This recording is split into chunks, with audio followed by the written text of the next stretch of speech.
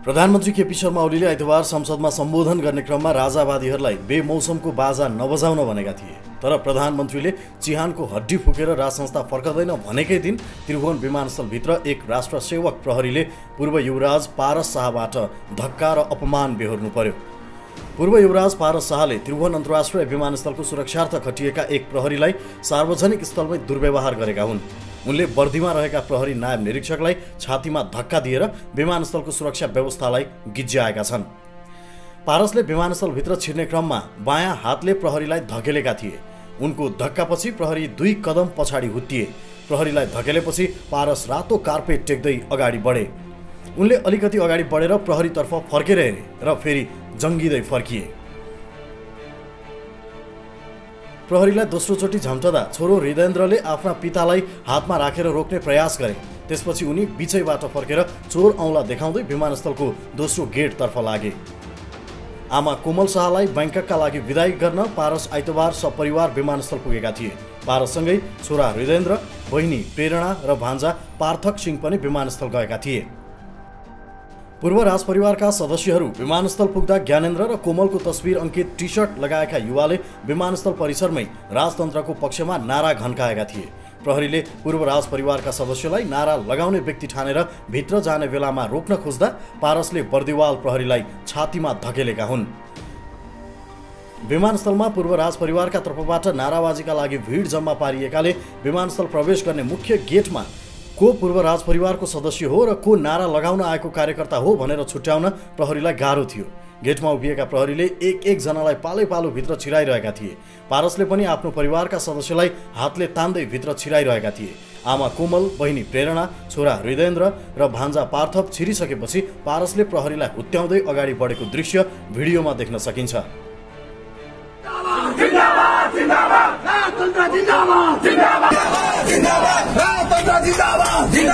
जिंदाबाद राजतंत्र जिंदाबाद जिंदाबाद जिंदाबाद जिंदाबाद जिंदाबाद जिंदाबाद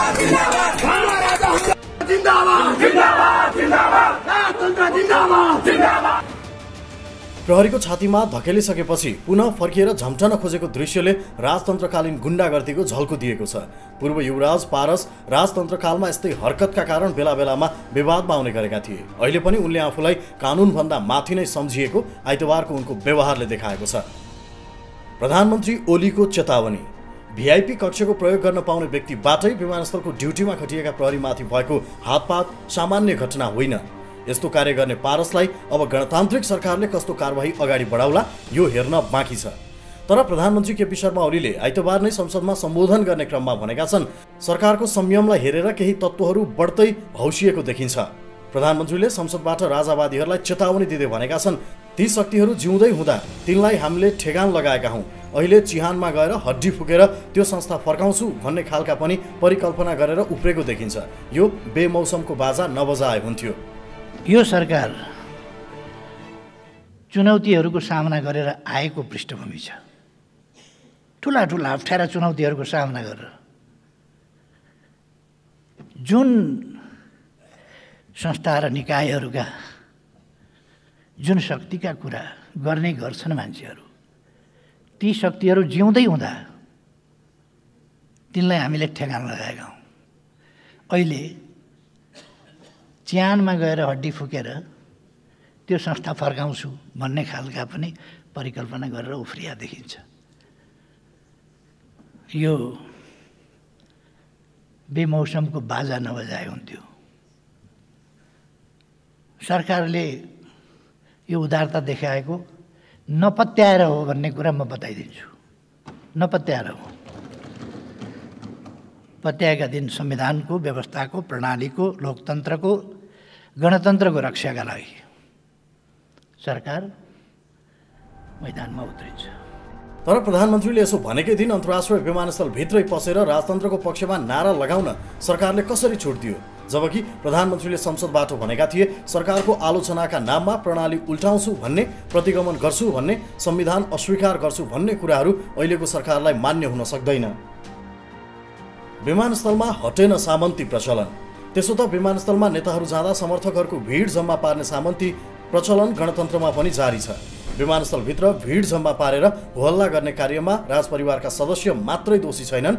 आफूलाई गणतन्त्रको अगुवा ठान्ने नेताहरू पनि विमानस्थलमा आवत जावत गर्दा महँगो पुष्पगुच्छा बोकेर लर्को लगाउने चलन गणतन्त्रमा पनि हट्न सकेको छैन कोमलको विदायका लागि परिवारका सदस्यहरू विमानस्थल जानु स्वाभाविकै हो। तर त्यहाँ ज्ञानेन्द्र कोमलको तस्विर अङ्कित टी सर्ट लगाएका नाराबाजी गर्ने समर्थकहरूलाई समेत सहज रूपमा प्रवेश दिइयो। उनीहरू अन्तर्राष्ट्रिय विमानस्थलको प्रस्थान कक्ष अगाडि नै पुगेर राजतन्त्रको नारा लगाउन र गणतन्त्रलाई गाली गर्न सफल भए। आइतबार त्यही सामन्तकालीन व्यतिथि कोमल शाहको बैङ्कक भ्रमणमा दोहोरिएको हो। बैङ्ककमा रहेका पूर्व राजा ज्ञानेन्द्र शाहलाई भेट्न जाने क्रममा कोमल शाह जुलुसका साथ विमानस्थल पुगेकी थिइन्। यतिसम्मको भद्रगोल त थियो नै तर ड्युटीमा रहेका एक प्रहरीले आफ्नो कर्तव्य निर्वाह गर्न खोज्दा गुन्डागर्दीको शैलीमा पारस शाहबाट जसरी हातपात भयो यो दृश्यले देशमा अझै पनि कोही मानिस कानुनभन्दा माथि नै रहेछन् भन्ने कुरा देखाएको छ। पारसका समर्थकले गरे रवि लामिछानेको वकालत। विमानस्थलमा राजतन्त्रको पक्षमा नारा लगाउँदै पुगेका टी सर्टधारीहरूले चितवनमा न्यायिक हिरासतमा रहेका रवि लामिछानेको पक्षमा पनि वकालत गरे। वर्तमान सरकारले लामिछानेलाई फसाउन खोजेको भन्दै उनीहरूले सरकारलाई गाली गलौज गरे। त्यसो त चितवनमा रवि लामिछानेको पक्षमा भइरहेको प्रदर्शनमा समेत राजावादीको सक्रियता रहेको भरतपुरका कतिपय स्थानीयवासीको भनाइ छ। पुडासैनी आत्महत्या प्रकरणमा प्रहरीले गरिरहेको अनुसन्धानलाई प्रभावित बनाएर सोही बाहनामा सडक तताउने र सरकार विरुद्ध वातावरण तयार पार्ने योजनामा राजावादी तत्त्व लागि परेको नेकपाका स्थानीय नेताहरू बताउँछन्। स्थानीयले गरेको यही आशंकालाई मलझल पुग्ने गरी आइतबार विमानस्थलमा भेला भएका पारस शाहका समर्थकहरूले रवि लामिछाने आफूहरूको ढुकढुकी भएको बताए। यसैबीच चितवनमा आइतबार नेकपा र कङ्ग्रेसका नेता समेतको सहभागितामा बसेको सर्वपक्षीय बैठकले पुडासैनी आत्महत्या प्रकरणमा भइरहेको प्रदर्शनलाई निरुत्साहित पार्ने र घटनाको निष्पक्ष अनुसन्धानमा प्रशासनलाई सहयोग गर्ने निर्णय गरेको छ। यस घटनालाई लिएर प्रहरी के भन्छ त? पूर्व युवराज पारस शाह विभिन्न लफडाको कारण विवादमा आइरहन्छन्। अनेकन आपराधिक र अराजक क्रियाकलापसँग जोडिएका पारस शाहले युवराज हुनु अघिदेखि नै मादक पदार्थ सेवन गरेर सार्वजनिक स्थानमा होहल्ला आम मानिसमाथि मारपिटदेखि फायरिङसम्मका घटना गराउँदै आएका थिए। कुनै बेला गायक प्रवीण गुरुङ मृत्यु प्रकरणमा समेत पारसको नाम जोडिएको थियो। नेपालमा मात्र नभएर विदेशमा समेत लागु पदार्थ सेवनको आरोपमा पारस पक्राउ परिसकेका छन्। पछिल्लो समय विगतमा धमिलिएको छवि सुधार्न धार्मिक वा सामाजिक कार्यमा सहभागी भएर जनताको नजिक हुने प्रयासमा लागेका पारसले आइतबार फेरि अर्को काण्ड मचाएका छन्। सार्वजनिक स्थलमै पारसले वर्दीधारी प्रहरीमाथि हातपात गरे। त्रिभुवन अन्तर्राष्ट्रिय विमानस्थलको भिआइपी कक्षको सुरक्षामा खटिएका प्रहरी नायब निरीक्षक सही ईश्वर खत्रीमाथि पारसले हातपात गरेका हुन्।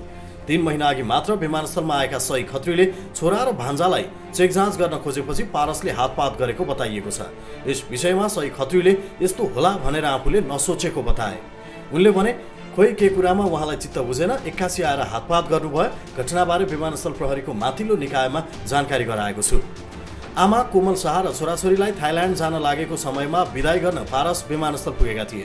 पूर्व राजा ज्ञानेन्द्र शाह दुई साता अघि मात्रै थाइल्यान्ड गएका थिए भने हिमानी शाह पनि थाइल्यान्डमै रहेकी छिन्। आफ्ना छोरा र भान्जामाथि प्रहरीले अपमान गरेको भन्दै पारसले सही खत्रीलाई छातीमा समातेर धकेलेको भिडियो सार्वजनिक भएको छ।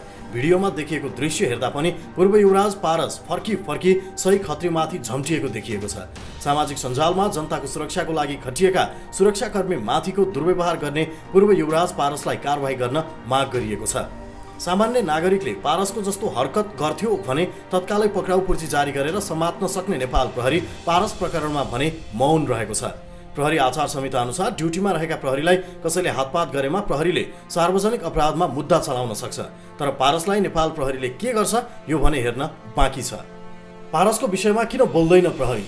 यस विषयमा नेपाल प्रहरीका प्रवक्ता डिआइजी विश्वराज पोखरेल केही बोल्न चाहेनन्। सामान्य घटना भएको भन्दै डिआइजी पोखरेलले कुनै औपचारिक जानकारी दिन चाहेनन्। पारसको शैलीबारे विमानस्थलमा कार्यरत प्रहरी अधिकृतलाई घटनाबारे बुझ्न खोज्दा सम्पर्क हुन सकेन। विगतमा दर्जनौँ जघन्य अपराधमा मुछिए पनि राजपरिवारको सदस्य भएकै कारण उन्मुक्ति पाउने गरेका पारस शाह लोकतन्त्र स्थापनापछि भने प्रहरी कारवाहीमा परेका छन्। यसअघि दुई हजार पचहत्तर जेठ तिस गते पारस शाहले ट्राफिक नियम उल्लङ्घन गरेका थिए। ललितपुरको जाउलाखेल चोकबाट ट्राफिक नियमको व्यवस्था गर्दै थापाथलीसम्म आएको पारसको पाँच चौध प दुई एक तिन एक नम्बरको गाडीलाई ट्राफिक प्रहरीले रोकेको थियो। थापाथली ट्राफिकको फन्दामा परेपछि पारसले त्यहाँ पनि लफडा गरेका थिए।